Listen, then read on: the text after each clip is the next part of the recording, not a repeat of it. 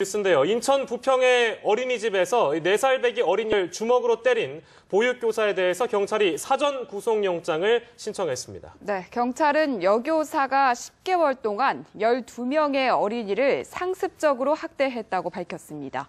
김동현 기자입니다. 경찰이 인천 부평의 어린이집 교사 25살 A씨에 대해 사전 구속영장을 신청했습니다.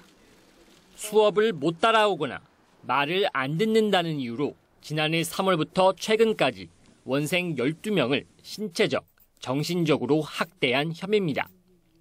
앞서 A씨는 경찰에서 12시간 동안 조사를 받고 나왔습니다. 상습적 폭행에 대해 인정을 하십니까? 죄송합니다. 피해 아동이랑 학부모들께 한마디 말씀만 해주시죠.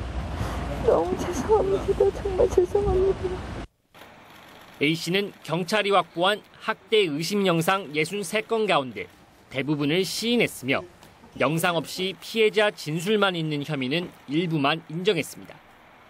경찰 관계자는 피해 아동 8명에 대해서는 CCTV 영상을 통해 혐의를 확인했고 4명에 대해서는 A씨가 아동 부모의 진술을 시인했다고 설명했습니다.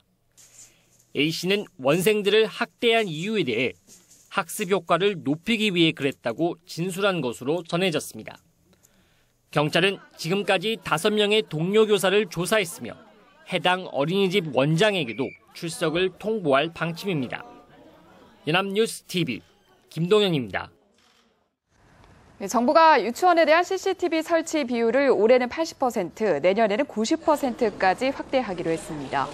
황우여 교육부 장관은 청와대에 설린 국민 행복 분야 업무 보고에서 이 같은 내용을 골자로 한 계획을 보고했습니다.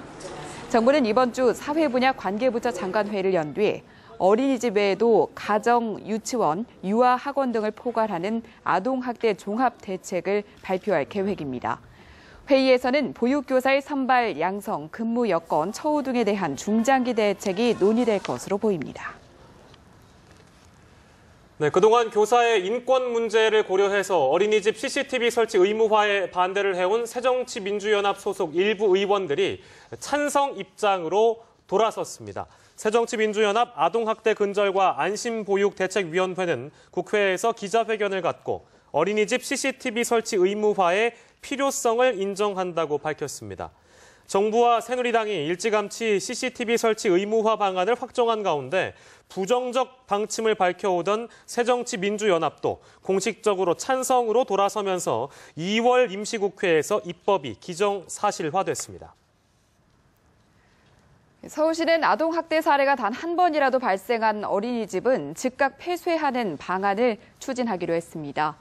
서울시는 최근 어린이집 학대 사건에 따른 학부모의 불안을 해소하기 위해서 이 같은 내용을 골자로 한 어린이집 아동학대 방지 대책을 발표했습니다. 시는 아동학대가 발생한 어린이집에 대해선 지방자치단체 차원에서 취할 수 있는 최대 수의 행정처분을 내리기로 했습니다. 정부는 단 한 번의 학대 행위라도 발견되면 어린이집을 폐쇄까지 할 수 있는 내용의 법령 개정을 추진하고 있습니다.